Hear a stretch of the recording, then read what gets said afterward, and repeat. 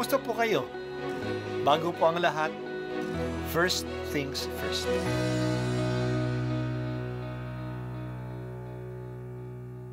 Good morning po.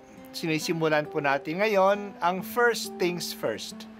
At dito po, tinatalakay natin sa unang bahagi ng umaga natin ay ang first readings na binabasa po sa banal na misa. Ito pong tinatalakay natin kasi madalas po kasi marami na tayong alam tungkol sa gospel readings. Pero konti po ang nagsasalita sa first readings. Pero ang first readings, bahagi din po yan ng Biblia, ng banal na kasulatan. Kaya susubaybayan po natin ang mga first readings, basahin po natin at kuminsan kailangan ng basahin ng dalawa o tatlong beses bago maintindihan kasi hindi po tayo sa familiar sa mga istorya at sa mga kaisipan na tinatalakay dito. Ang pagbasa mula sa mga gawa ng mga apostol Samantalang nasa Korinto si Apolos, si Pablo na may naglagos sa mga dakong bulubundukin ng lalawigan hanggang dumating sa Efeso. May natagpuan siya roon ilang alagad at tinanong niya, Tinanggap ba ninyo ang Espiritu Santo nang sumampalataya kayo? Hindi po, tugon nila, ni hindi namin narinig na may Espiritu Santo. Kung gayon, sa ano kayo nagpabinyag? Tanong niya. Sa binyag ni Juan, anila. Sinabi ni Pablo ang binyag ni Juan ay tanda ng pagsisisi.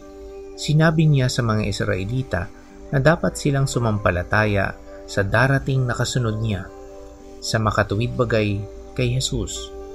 Nang marinig nila ito, sila'y nagpabinyag sa pangalan ng Panginoong Jesus. Ipinatong ni Pablo ang kanyang kamay sa kanila, bumaba sa kanila ang Espiritu Santo at sila'y nagsalita ng iba't ibang wika at nagpahayag ng salita ng Diyos. Sila'y humigit kumulang sa labindalawang lalaki. Sa loob ng tatlong buwan, si Pablo'y pumasok sa sinagoga at nakipagtalo sa mga naroon at buong tapang na ipinaliliwanag sa kanila kung ano ang paghahari ng Diyos. Ang salita ng Diyos. Salamat sa Diyos. Sa kanyang third missionary journey, si Pablo ay tumigil ng matagal sa Efeso. May tatlong taon siya doon. Pagdating niya doon, may nakatagpo siya ng mga tao na may pananampalataya pero hindi pa buo ang kaalaman nila. Hindi nga nila alam na may Espiritu Santo. Nabinyagan lang sila sa binyag ni Juan Bautista Pinaliwanag ni San Pablo na ang binyag na binigay ni Juan Bautista ay paghahanda lamang. Pinagsisisisi sila sa kanilang mga kasalanan upang maging handa silang tanggapin ang isang mas dakila pa kaysa kay Juan na si Jesus na siya ang Kristo. Pagkatapos na sila ay mag, mag, mag-aral, biniyagan sila ni Pablo sa ngalan ni Jesus at bumaba din ang Espiritu Santo sa kanila.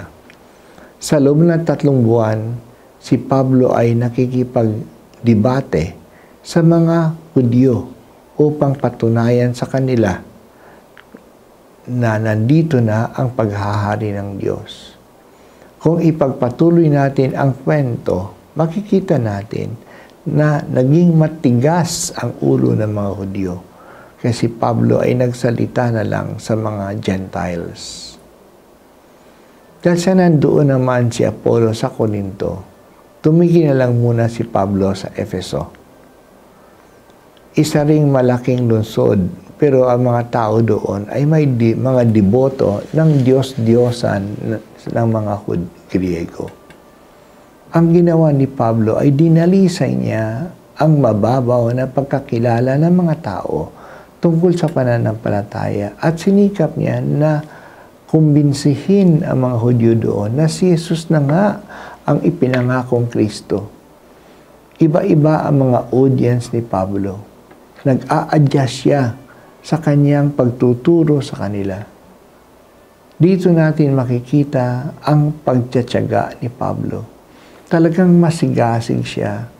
He does not wait for any ideal situation kung ano ang sitwasyon na nandiyan, kung sino ang mga taong kaharap niya, pinaaabot niya sa kanila ang magandang balita tungkol kay Jesus. Sana maroon din tayong ganyang apoy sa pagmimisyon. Salamat o Diyos na binibigay mo sa amin ang Espiritu Santo sa sakramento ng kumpil. Pinatatatag niya ang aming pagsunod kay Jesus at ginagabay niya kami sa katotohanan ng buhay at ng aming pananampalataya. Salamat, Banal na Espiritu. Umalab ka sa aming puso.